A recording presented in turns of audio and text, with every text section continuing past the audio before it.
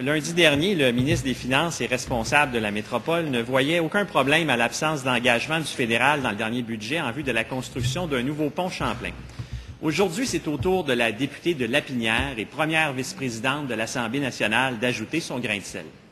Elle a exigé ce matin, à l'occasion de la période consacrée aux déclarations de députés, que soient rendues publiques les études de préfaisabilité sur le pont Champlain. Et je cite un extrait de sa déclaration. Ces études sont maintenant faites et circulent parmi les partenaires depuis au moins six mois. Elles sont traduites et prêtes pour diffusion. Cependant, le public qui a payé la note de ces études tarde à en connaître la teneur. Qu'attend le ministre des Transports pour donner suite à la demande de sa collègue, la députée de Lapinière, et publier immédiatement les études sur la nécessité d'un nouveau pont? Oui.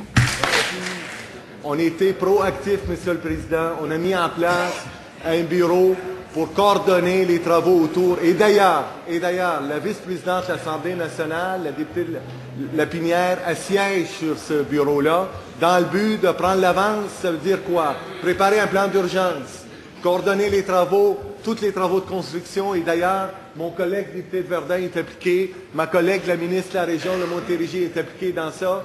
Et on prépare le plan d'urgence, le plan de transport, on travaille avec la STM, avec l'ANT, les sociétés de transport de Longueuil, avec la mairesse de Longueuil.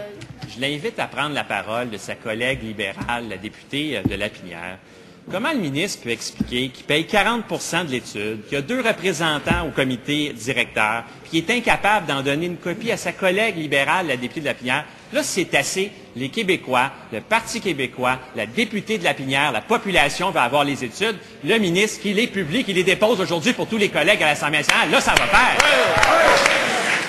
Il est contre Turcot, puis je suis pas sûr qu'il est pour Champlain. Et il faut comprendre que quand il prend Champlain, il va arrêter à Turcot après. Et il faut qu'il soit pour Turcot s'il va avoir Champlain.